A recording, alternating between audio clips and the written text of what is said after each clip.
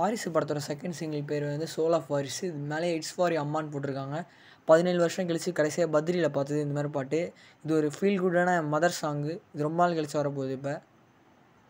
ஐஸ்வர்யாவோட லால் சலாம் படத்தோட ஷூட்டிங் வந்து பிப்ரவரியில் ஸ்டார்ட் ஆக போகுது. ஃபஸ்ட்டு பத்து நாள் காரைக்காலில் ஷூட் பண்ண போகிறாங்க